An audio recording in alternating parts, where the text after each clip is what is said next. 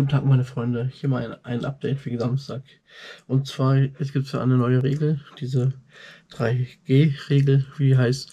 Ich lese euch das mal kurz vor, was jetzt der aktuelle Stand ist. Ähm, Zutritt erhalten nur Geimpfte, Genesene und Getestete. Getestete Personen sind mit einem von offizieller Seite getätigten äh, Schnelltests der nicht älter als 24 Stunden ist oder mit einem PCR-Test oder nicht älter als 48 Stunden.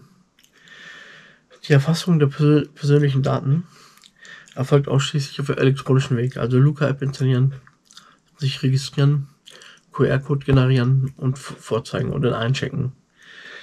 Ähm, genau, der entsprechende QR-Code wird euch beim Einlass zugänglich, zugänglich gemacht. Es werden ähm, Sitzplätze geben.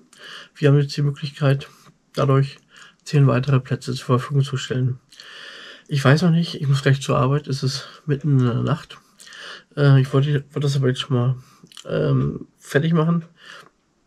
Ob ich jetzt im Shop noch die Tickets freigebe oder ob wir Abendkasse machen. Da würde ich euch auch noch auf dem Laufenden halten. Wie ihr festgestellt habt, die Leute, die, die Tickets gekauft haben im Shop, es werden keine Tickets versandt.